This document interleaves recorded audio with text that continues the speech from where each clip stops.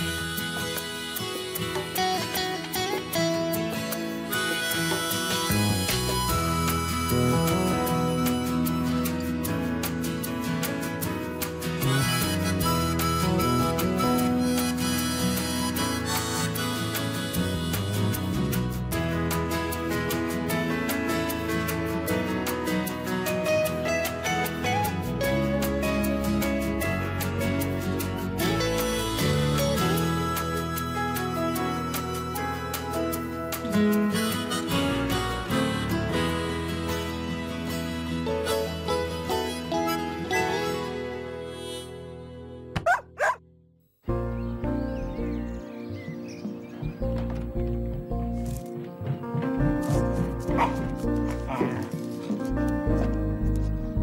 hast dich heute aber schick gemacht. Findest du? Aber hallo, das ziehst du doch sonst nur an, wenn wir irgendwo eingeladen sind. Was hast du denn heute vor? Ich soll einen Artikel über die neu gewählte Miss Flensburg schreiben. Außerdem sind da alle gut angezogen. Ich denke, die laufen da alle in Badeanzügen rum. Vielleicht hättest du ja heute lieber deine Bermuda-Shorts anziehen sollen. Sehr witzig. Nee, das mit den Badeanzügen ist erst morgen. Na, dann musst du heute aber noch mal ins Sonnenstudio. Und ins Bodybuilding-Studio. Tja, Ich glaube, die Fantasie geht ein bisschen mit euch durch, was? Hey, das Ganze findet auf der Alexandra statt. da bin ich ja beruhigt. Tschüss. Tschüss, meine Schätze. Schönen Tag. Komm, Kalle.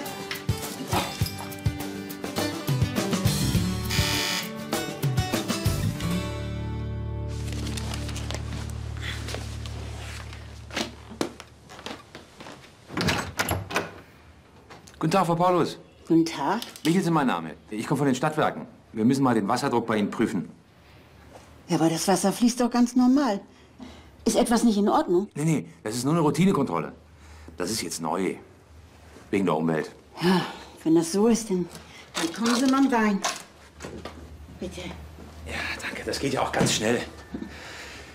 Wo ist denn bei Ihnen der Wasserzähler? Da gleich. Ich gehe mal Ihnen vor. Ah, ja.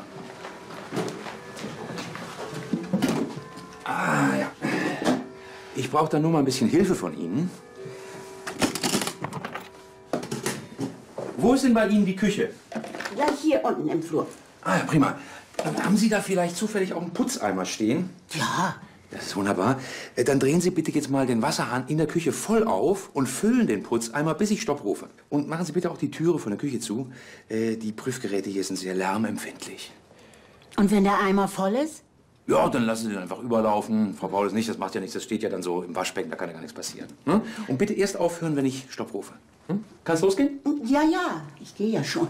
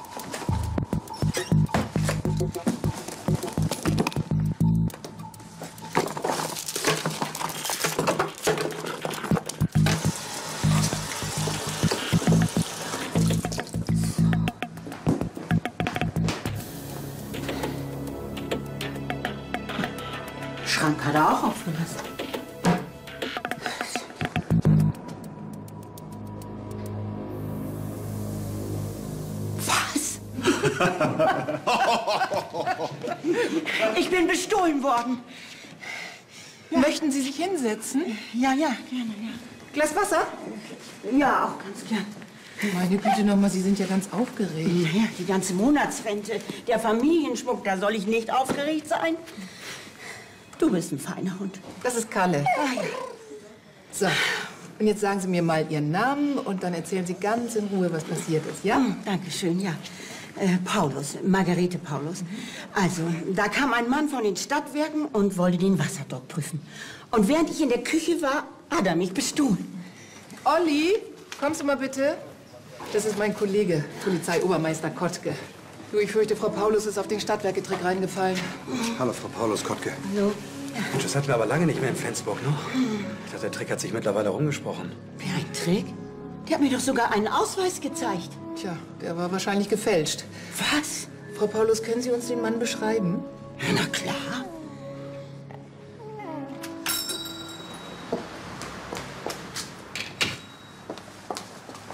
Guten Tag. Was kann ich für Sie tun, gnädige Frau? Ich brauche Holzschrauben. Holzschrauben, ja. Welche Größe denn? Welche Größe? Gute Frage. So ungefähr. 30 Millimeter, würde ich sagen. Und der Durchmesser? Keine Ahnung. Ich wusste gar nicht, dass das so kompliziert ist. Mein Mann hat mich geschickt. Der baut so ein blödes Regal auf und jetzt fehlen ihm ein paar Schrauben. Ja, dann würde ich doch sagen, Sie nehmen am besten ein kleines Sortiment. Da ist dann sicher was dabei, was Ihr Mann gebrauchen kann. Gut, danke, die nehme ich. Was kosten die? Das macht 3,50 bitte.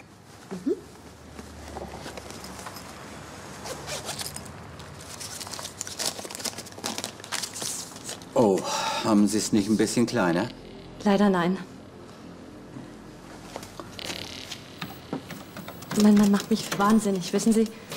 Der ist handwerklich so ungeschickt, muss aber trotzdem alles selber machen. Wenn er wenigstens noch vernünftiges Werkzeug hätte. In die Apotheke muss ich auch noch, weil er von der Schrauberei jetzt schon eine Blase an der Hand hat. Sagen Sie, gibt es nicht solche elektrischen Schraubenzieher oder sowas? Ach, Sie meinen einen Akkuschrauber? Moment. Da habe ich sogar einen im Angebot. So, wenn Sie mal schauen wollen. Das ist er hier. Also, das ist der Akku. Den laden Sie erstmal voll. Dann so in das Gerät hinein. Und dann müssen Sie eigentlich nur noch darauf achten, dass dieser Schalter hier rechts rum, nicht erschrecken, um die Schrauben reinzudrehen. Oder so links rum, Schrauben wieder raus. Ja, und äh, was kostet das Gerät? Das ist von 80 auf 65 Euro heruntergesetzt. 65 Euro. Das ist ein echtes Schnäppchen. Also, das überlege ich mir, glaube ich, lieber noch mal. Kann ich bitte noch die Quittung haben, falls es doch nicht die richtigen Schrauben sind? Hallo Kurdi, alles fresh? Jo, alles im grünen Bereich. So, wo sind denn jetzt die 50 Euro geblieben? Die haben Sie doch eben in Ihre Kasse gesteckt. Nee, das kann nicht sein. Nee, da bin ich ganz sicher. Das darf doch nicht wahr sein. Erst macht mein Mann mich vollkommen wahnsinnig wegen der dämlichen Schrauben und jetzt werfen Sie mir auch noch vor, ich würde sie bestehlen. Das ist eine Unverschämtheit. Ja, sehen Sie, das war der einzige Schein, den ich hatte. Also, das tut mir leid, aber ich bin ganz sicher. Kurdi, nun lass doch mal gut sein. Danke, das ist sehr nett von Ihnen.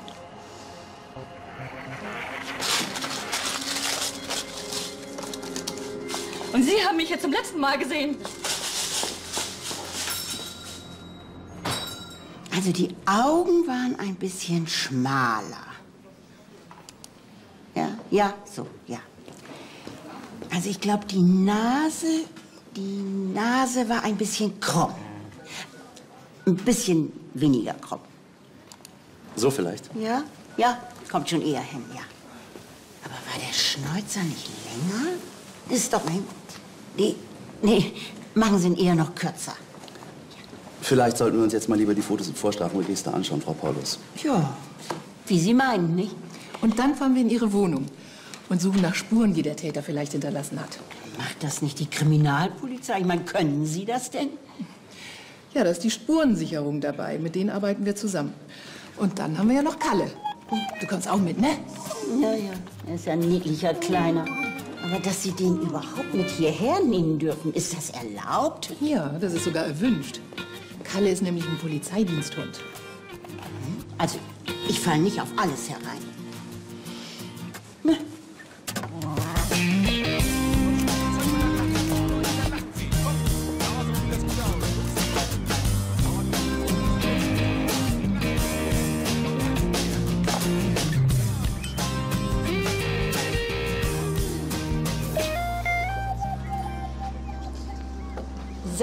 46,50 Euro für 10 Minuten und ein paar falsche Tränen ist nicht schlecht. Ich hab dir doch gesagt, Eisenwarenfachhandel ist für eine Frau der Bringer. Erstens mal sind Frauen für die total exotisch. Und zweitens mal liegen die Stärken bei denen mehr so im praktischen als jetzt, sagen wir mal, im sprachlichen Bereich.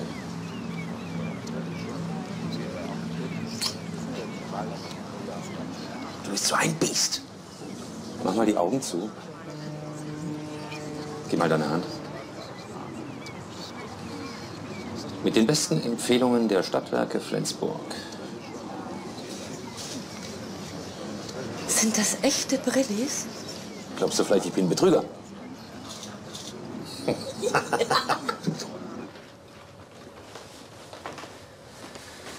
Hätten Sie bloß die Stadtwerke angerufen, bevor Sie so einen Mann in Ihre Wohnung lassen, Frau Paulus.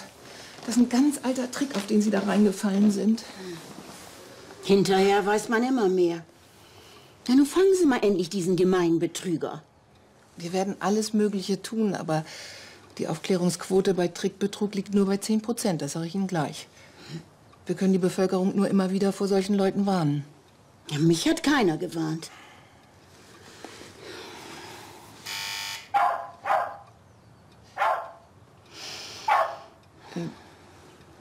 Wollen Sie nicht aufmachen? Ohne Verabredung mache ich keine Tür mehr auf. Frau Paulus, das ist wahrscheinlich nur mein Kollege.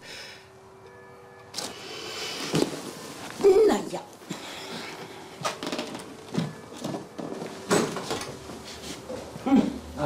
Hallo. Na, Kalle, schon was gefunden?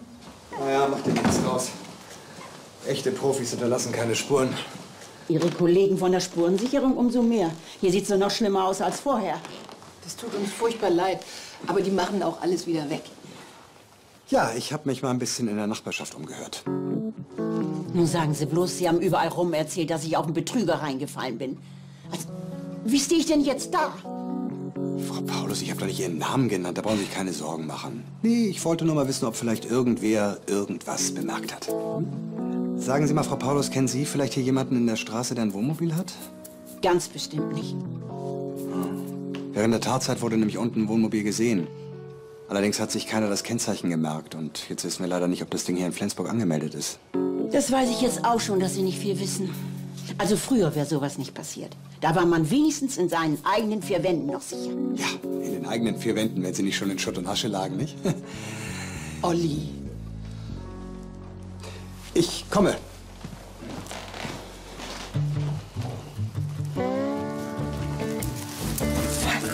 Das, das ist ja meine Perlenkette. Das Hochzeitsgeschenk von meinem verstorbenen Mann. Die suche ich schon seit einem halben Jahr. Wo hast du die denn gefunden, mein kleiner Galle? Nach den Staubflocken zu urteilen, unterm Schrank oder unterm Bett, ne?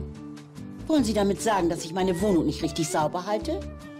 Nö, du kleiner Galle. Du hast es richtig gemacht. Meine Eltern sind gleich 89 hierher, als die Mauer fiel. Ja, 89.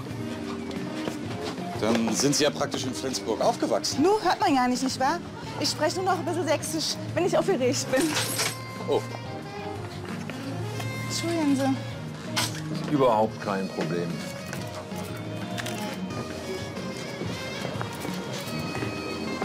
Dämliche Gül. Jetzt lass dir doch nicht die gute Laune verderben. Was meinst du? Soll ich mal mein Glück mit Mami und Papi versuchen?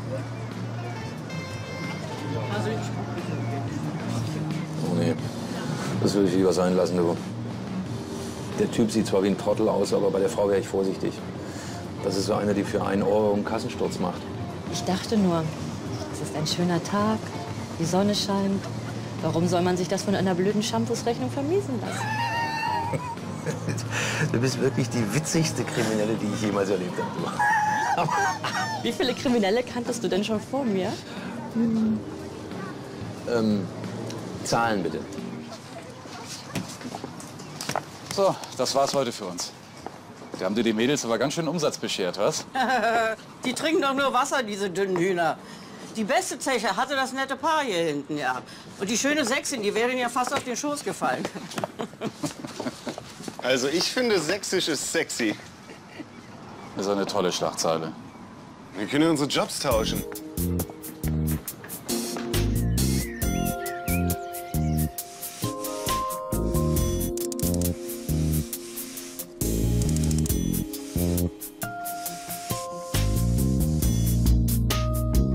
Was meinst du? Hier natürlich. Hier ist es. Das gibt's doch gar nicht. Und da ist wirklich kein Trick dabei? Nein, du schaust einfach nicht genau hin. Gut, dann nochmal.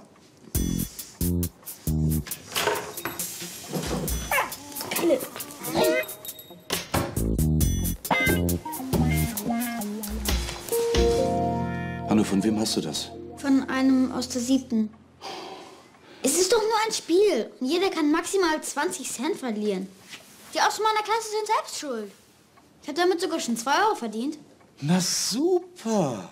Mensch, Hanno, das heißt, du hast schon zehn Klassenkameraden betrogen. Morgen gibst du denen ihren Einsatz aber zurück. Haben wir uns verstanden? Und vor dem Essen zupfst du noch das Unkraut am Gartenzaun weg. Frau Jansen hat sich schon beschwert. Mann.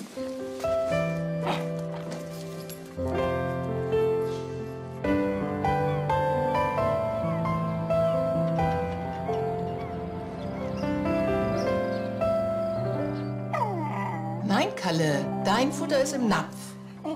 Und? Wie war es heute auf dem Revier? Ach, wir hatten eine alte Dame da, die Opfer eines Trickbetrügers wurde. Geld, Schmuck, alles weg. Stefan, du musst unbedingt dafür sorgen, dass ein Artikel über den Trickbetrüger in der Zeitung erscheint. Davor kann man nicht genug warnen. Ich versuche ihn für morgen noch reinzukriegen. Ähm, können wir aufstehen? Was habt ihr vor? Äh, nichts. Wir wollen nur mit Kalle im Garten spielen. Komm, Kalle.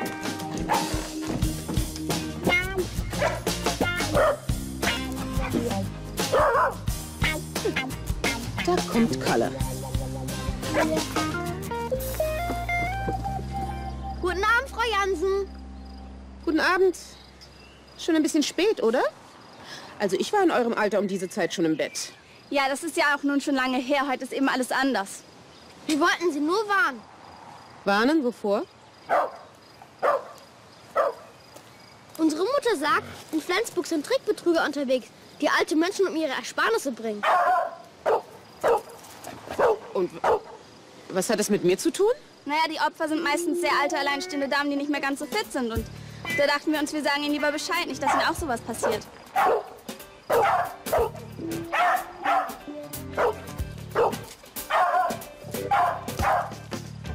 Ich meine, Sie haben sicherlich auch Bargeld und Sparbücher unter Ihrer Matratze. Das ist ja wohl die, die Höhe. Das ist ja der Gipfel der Impertinenz. Bruno? Ach, bevor ich es vergesse. Ich habe die Phantomzeichnung des Trickbetrügers dabei. Und die Beschreibung der Betrugsmasche. Sorg doch bitte dafür, dass das so schnell wie möglich veröffentlicht wird. Mach ich. Das gibt's doch nicht.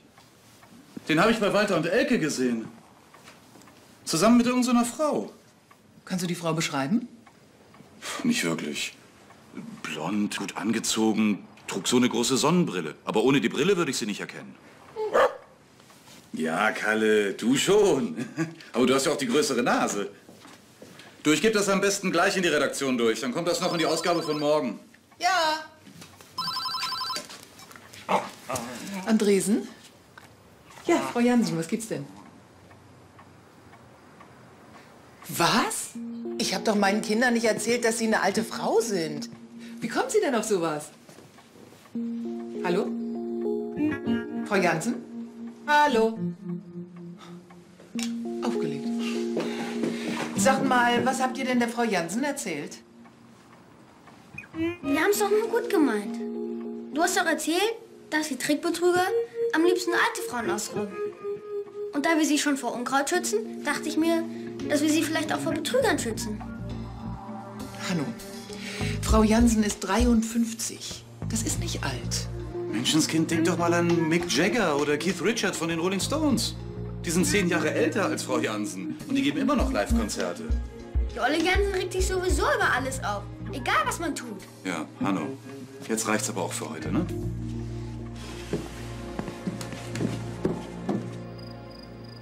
Hanno ist ganz schön clever für sein Alter. Tja, er wird immer selbstständiger. Da kriegt man nicht mehr alles mit, was er so macht. Meinst du, wir kümmern uns nicht genug um die Kinder? Doch, natürlich. Irgendwann muss man auch loslassen. Wir können ja nicht immer da sein. Ich glaube, meine Fantasie geht mal wieder mit mir durch. Aber weißt du, ich habe einfach zu viele Menschen gesehen, die die Kurve nicht gekriegt haben. Ach komm. Hm? Unsere Kinder sind schon in Ordnung. Es gibt schließlich nicht nur die Umwelteinflüsse, sondern auch die Gene. Und bei so einer Mutter. Und so einen Vater.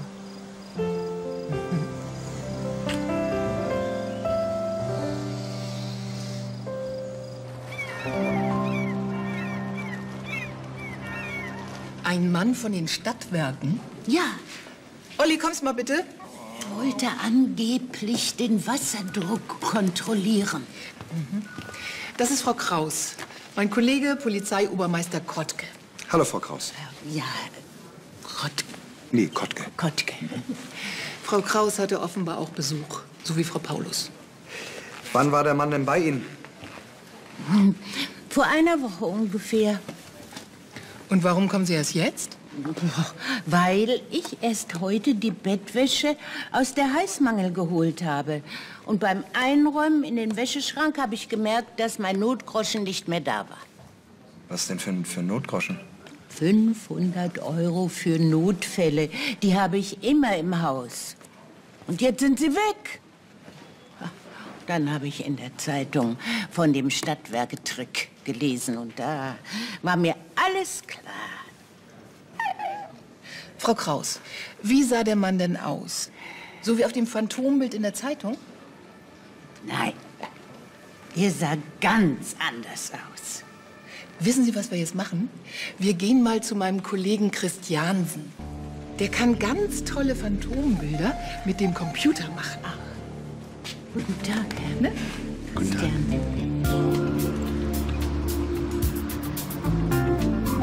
Fahren Sie doch mal in die Husumer Straße. Eisenwarenfachgeschäft Meinerts. Der Inhaber wurde Opfer einer Trickbetrügerin. Alles klar, verstanden. Ja, so sieht er aus. Na fein. Dann sind wir ja schon mal ein Stück weiter. Und wollen Sie sich jetzt auch noch den Tatort ansehen? Also ich meine meine Wohnung. Ich denke, nach einer Woche hat das wenig Sinn, Frau Kraus. Schön.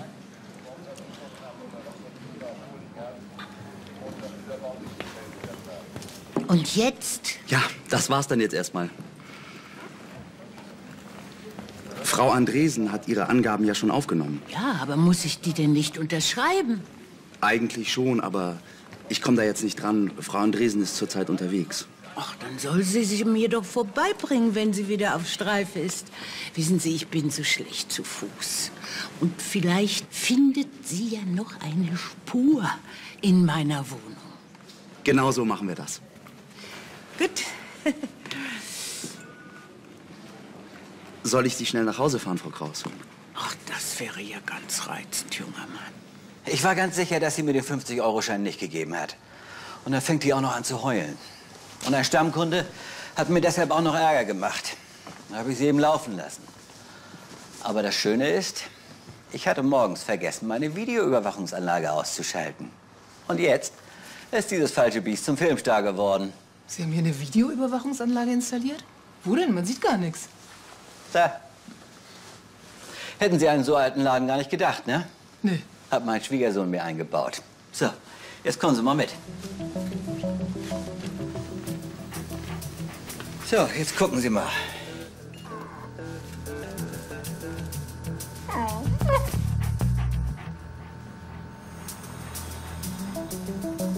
Na, was sagen Sie dazu? Ja, wir würden den Film gerne mitnehmen. Der könnte für die Verhandlungen sehr hilfreich sein. Das will ich doch hoffen. Hey, hey, hey, jetzt macht der Hund noch den Film kaputt. Keine Angst, der passt schon auf. Das ist ein Polizeidiensthund. Der? Ein Polizeihund? Sagen Sie mal, Sie haben mir noch gar nicht Ihre Dienstausweise gezeigt. Woher weiß ich denn jetzt überhaupt, dass Sie nicht auch noch irgendwelche Betrüger sind? Tja, auf frischer Tat gefilmt, sozusagen. Aber viel ist von der Frau ja nicht zu erkennen. Könnte das die Frau gewesen sein, Stefan? Ja, vom Typ her schon. Aber die Frisur? Und die hast du zusammen mit dem Mann gesehen, der dem Trickbetrüger ähnlich sieht. Ja. Jedenfalls Na, mit einer anderen Frisur könnte sie es gewesen sein. Wo? Wo haben Sie die gesehen? Auf dem Restaurantschiff Alexandra. Während meiner Reportage über die Wahl der Miss Flensburg. Miss Flensburg. Journalist müsste man sein.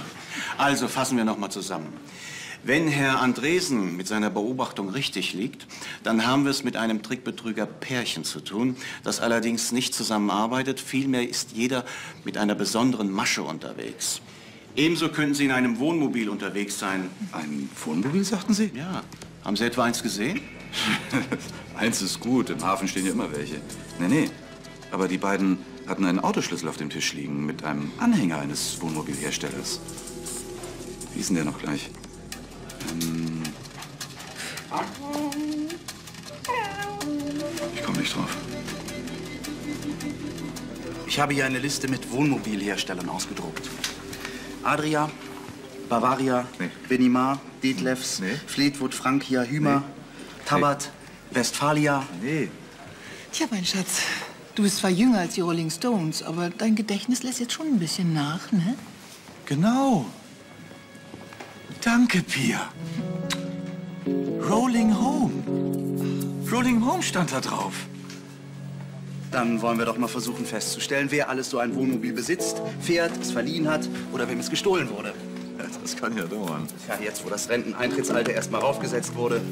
Apropos Rente, Pia. Frau Kraus möchte das Protokoll noch unterschreiben. Ich habe ihr gesagt, dass du Olli und Kalle vorbeibringst. Kann ja bestimmt nicht schaden für die alte Dame, so eine bunte Runde. Hm? Klar, mache ich. Tschüss. Tschüss.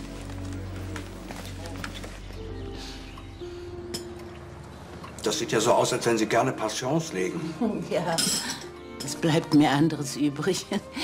Früher habe ich leidenschaftlich Bridge und Rommel gespielt. Aber meine Mitspielerinnen sind ja leider inzwischen alle tot. Oh, das ist aber wirklich sehr traurig. Ja. Stimmt. Aber so leid es mir tut, wir müssen jetzt los, Frau Kraus. Ach, der Kuchen war übrigens sehr, sehr lecker. Oh, da gebe ich Ihnen was mit, ja? Ich kann das ja sowieso nicht alles alleine essen. Ich muss nur noch mal schnell in die Küche, ja? So.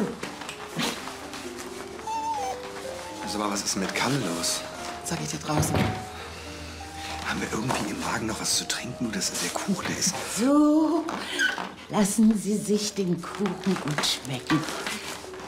Oh, das Kitzelpünktchen. Tja, also nochmal ganz herzlichen Dank für den Kuchen. Und äh, das unterschriebene Protokoll habe Ja, ich schon. aber wollen Sie sich vielleicht nicht doch noch mal in der Wohnung umsehen? Nee, Frau Kraus, das müssen wir eigentlich nicht. Das haben wir schon gründlich getan. Sie können mich jederzeit anrufen, wenn Sie noch Fragen haben oder vorbeikommen. Das machen wir. Und ich melde mich, wenn mir noch was Wichtiges einfällt. Gut. Ja, dann, dann wollen wir mal. Ja. Ja. Äh, wir finden alleine raus. Moin. Ja. Komm, Kalle. Na komm. Sag mal, der Marmorkuchen ist ja steinhart. Das ist ja eine Mordwaffe. Mit dem kannst du ja jemanden erschlagen. Und danach steckst du ihn in den Mund, schluckst ihn runter und weg ist er. Ach, Kalle, was ist denn los? Nur weil ich deine Lieblingsoma beleidigt habe? Sag mal, was kümmert sich der Hund eigentlich so extrem um die alte Frau? Naja, Hunde sind sensibel. Wenn er spürt, dass jemand einsam ist oder traurig, dann möchte er gleich trösten. Sag mal, ich wette das Gefühl nicht los, dass Frau Kraus sich mit uns nur die Zeit vertreiben will. Das glaube ich auch. Die hatte doch nie im Leben Besuch von einem Trickbetrüger. Ich mache mich mal schlau. Zuletzt vor einem halben Jahr und der Täter wurde nicht gefasst. Verstehe. Oh, genau, das habe ich mir auch gedacht. Danke, Kollege. Kommt mal her, ihr beiden. Ich habe was Interessantes gefunden. Frau Kraus wurde vor einem Jahr schon mal Opfer eines Kriminellen. Da hat ihr jemand auf der Straße die Handtasche entrissen. Der Täter wurde nie gefasst. Leider. Die Kollegen vermuten ja, dass es gar keinen Täter gab. Sie haben noch mal ein Auge zugedrückt und nichts gegen Frau Kraus unternommen. Ich sagte, das lag hundertprozentig an dem sensationellen Marmorkuchen. Na toll. Und was ist mit meinem Phantombild, für das ich über drei Stunden gebraucht habe? Das kannst du ja ausdrucken und ihr morgen vorbeibringen. Du, da freut die sich bestimmt. Ja.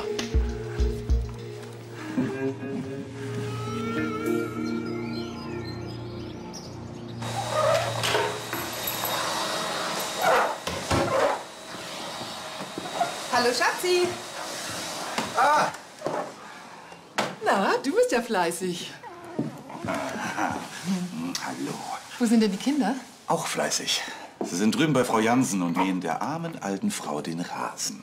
Als kleine Entschuldigung sozusagen. Sehr pädagogischer Schachzug. Sag mal, wie war's denn eigentlich bei der Miss Flensburg-Wahl? Du hast ja noch gar nichts erzählt. Ach, na ja, die sind natürlich alle ganz hübsch, aber für meinen Geschmack ein bisschen zu jung. Und äh, zu mager. Ach ja? Stehe eben mehr auf reifere Frauen, besonders in Uniform. Und ganz besonders auf die, die gerade vor mir steht. Da hast du ja noch mal Glück gehabt. Mhm. Was meinst du denn, wie lange die Kinder noch den Rasen mähen? Die haben gerade erst angefangen. Ich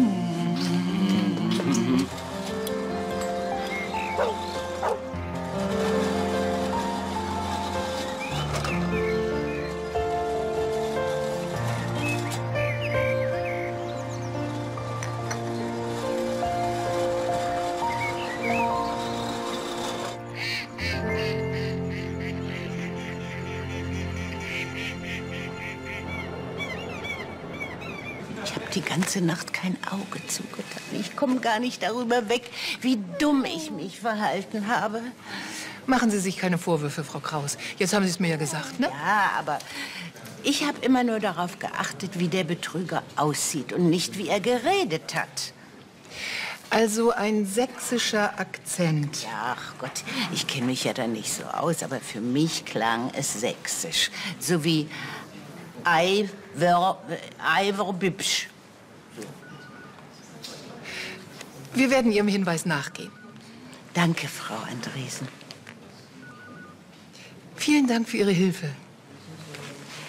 Auf Wiedersehen. Wiedersehen, Frau Kraus. Kalle.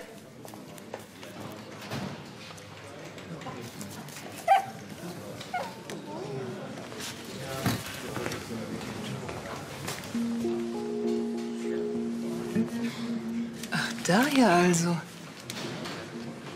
Na, das kann ja heiter werden. Na, was Neues von Frau Kraus? Nö, aber ich weiß jetzt wenigstens, wo sie ihre Hinweise aufliest. Habe ich was verpasst? Ja, heute ist Tag des Wohnmobils. Eberling möchte, dass alle verfügbaren Kollegen Flensburg nach Wohnmobilen durchkämmen. Wenn wir da nichts finden sollten, gehen wir davon aus, dass die Trickbetrüger die Stadt bereits verlassen haben.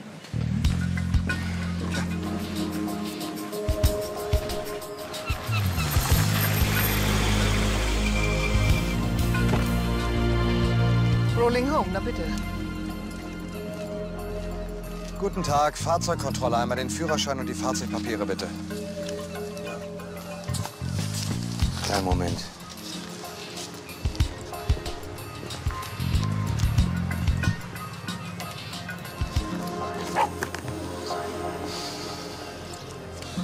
Machst du das mal hin? Mhm. Und reisen Sie alleine, Herr Mattes? Nee, äh, ich warte hier auf eine Freundin aus Dänemark. Die kommt hier gleich mit der Fähre an. Wir fahren zusammen nach Italien. Sie haben noch eine lange Reise vor sich. Danke. Alles in Ordnung, Herr Mattes. Danke. Okay. Ja, dann gute Fahrt.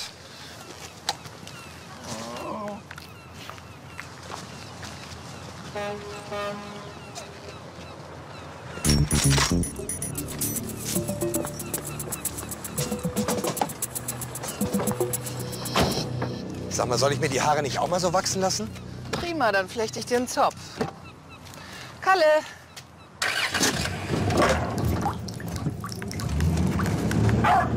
Dieser dämliche Köter. Kalle? Oh,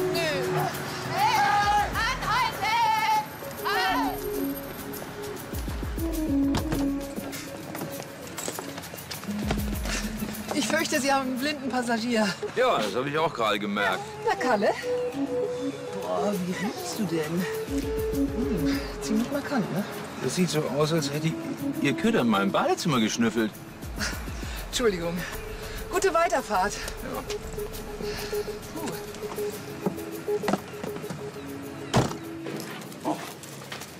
Meine Güte, Kalle, du riechst ja, als hättest du in Parfum gebadet. So, jetzt übertreib mal nicht.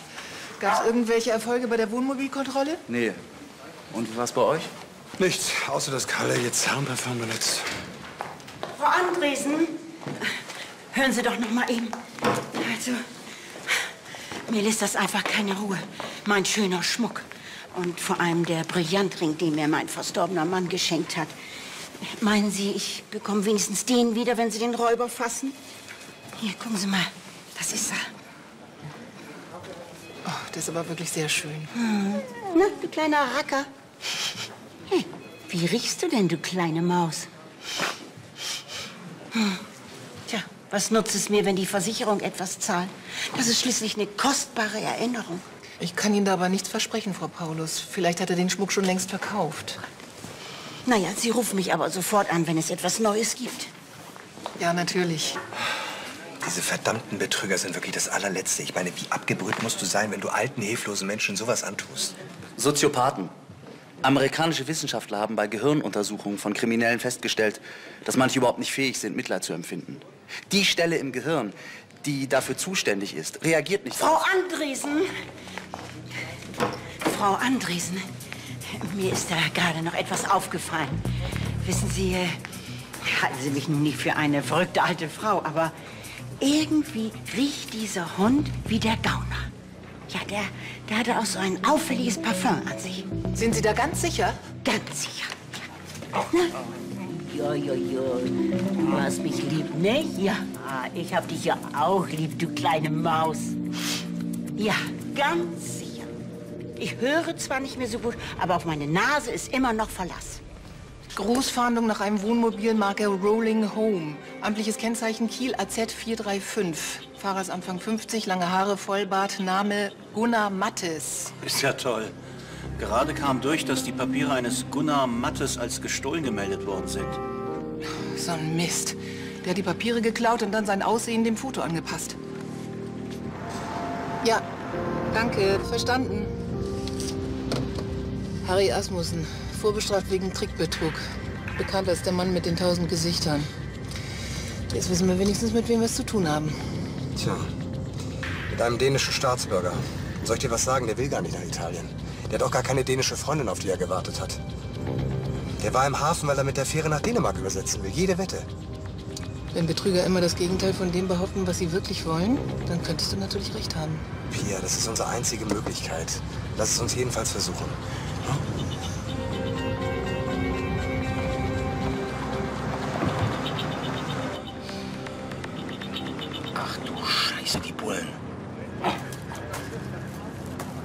Mit dem Wagen kommen wir hier nicht mehr raus. Mist!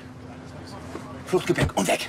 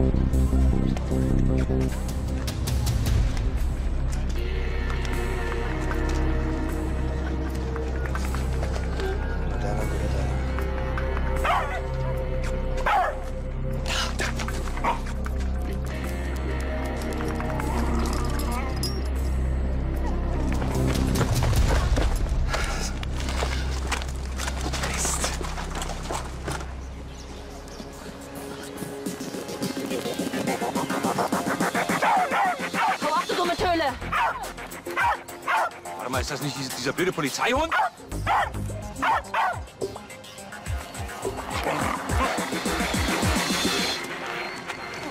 Polizei, stehen bleiben! Vorläufig festgenommen. Und Sie geben mir jetzt sofort diesen Brillantring. Gut gemacht, Kalle. Bin ich jetzt verhaftet? Wir könnten Sie vorläufig festnehmen, Frau Kraus. Wegen Irreführung der Behörden. Vortäuschung einer Straftat. Und Falschaussagen. Und so weiter und so weiter. Aber wir wollen jetzt mal nicht so sein, ne? Wo fahren Sie mich denn jetzt hin? Das werden Sie schon sehen. Frau Kraus, spielen Sie eigentlich gerne Romy? Bin schon lange aus der Übung. Aber eigentlich ganz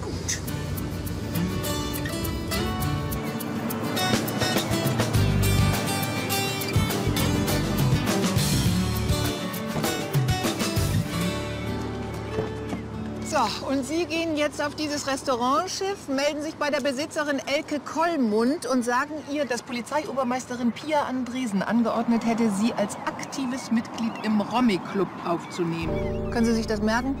Ja, Frau Polizeiobermeisterin. Und dass uns keine Klagen kommen. Ja, aber, Und keine Anzeigen mehr. aber ich kenne doch da niemanden. Sie müssen ja nicht alleine gehen. Kalle kommt mit. Komm, Kalle. Oh ja, komm, Kalle. Ich hol dich nachher wieder ab, Kalle. Wiedersehen. Aber nicht auf dem Revier. Tschüss.